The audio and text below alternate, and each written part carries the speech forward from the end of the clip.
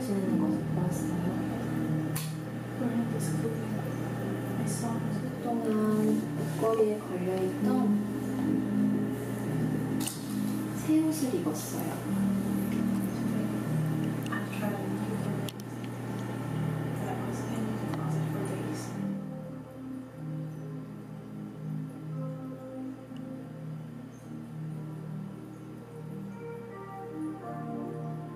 토끼가 무슨 얘기를 하는지 귀 기울여